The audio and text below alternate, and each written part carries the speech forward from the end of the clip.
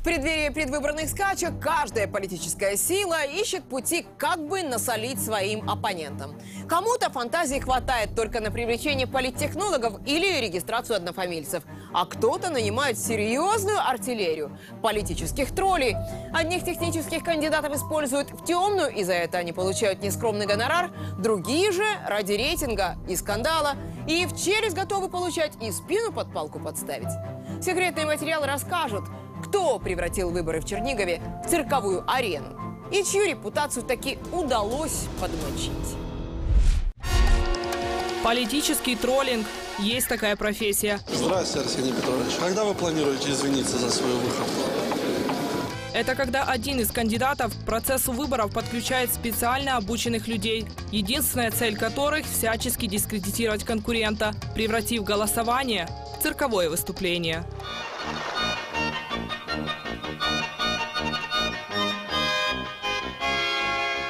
Все эти скандалы, которые происходили в, на 205 округе, они для чего? Для того, чтобы снизить явку. Избиратель раз- раз- разочаровался. Они это, судя по всему, они этого успешно добились. Недавно такой цирк приехал с гастролями и в Чернигов, на 205 округ. Тут на довыборах Верховный Совет состязались более 80 кандидатов в народные депутаты, большинство из которых попросту подставные. Слово технически, он все объясняет. Однофамильцы, пенсионеры и даже безработные. Он не имеет значения, что, какая его дальнейшая судьба. Предыдущая судьба особенно не интересует. Его интересует определенная функция. Все, он получает за это деньги.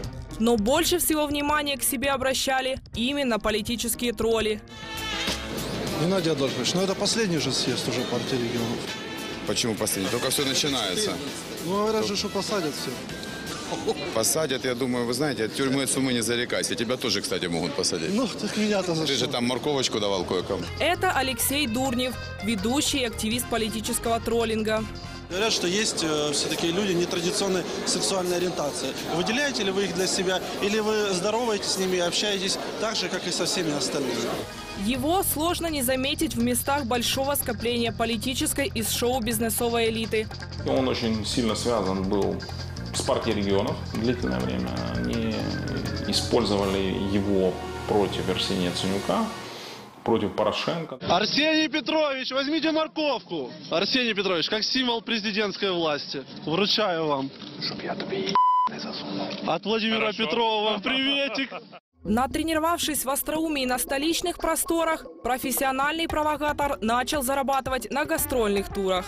Во-первых, в Одессе ну, всегда весело. Мы уже там это делали. Одесса очень юмор- юморной город. Ощутить на себе всю мощь юмора бывшего телеведущего посчастливилось одесскому мажору Алексею Гончаренко, выдвиженцу блоком Петра Порошенко на парламентских выборах. Я думаю, этот штаб был организован ЦРУ на деньги дочери Тимошенко, которые она получила, вывезя в Румынию украденную машину. Результат был незамедлительным. Выборы Гончаренко провалил, а Дурнев на гребне успеха решил поупражняться снова на новой жертве. Депутате от фронта перемен Владимире Родине. Владимир! Не нужно бояться никого! Он снова отработал вложенную в него копейку и помог своему очередному клиенту Сергею Кивалову пробраться под купол. Дурнев длительное время сотрудничал с партией региона. Он всегда работал на них. Он э, как бы э, это был и, там, скажем так, их там постоянный там подрядчик, да. 4 марта я проголосую за Владимира Владимировича Путина. В Чернигове Дурнев и его команда устроили красочное представление. На сей раз он сам был кандидатом в нардепы, но за себя агитировал мало, зато вдоволь побросался секс-игрушками по своим конкурентам. В ответ пришли спортсмены и посыпались удары тростью. В общем, представление получилось скандальное, что и было основной целью черниговских гастролей в Дурнево. На 205-м округе Дурнев выступал не сам, а со своей трупой. Я морковка, сладкая головка. Поучаствовать в выступлениях удалось и его соратникам. Краткосрочному советнику министра статья Александру Барабошко Я барабошка, вкусная картошка. и журналисту Василию Крутчаку. Я томат. Превратим наш округ в ад. Каждый из трио был зарегистрирован как кандидат в народные депутаты. Естественно, между собой у них никакой конкуренции не было.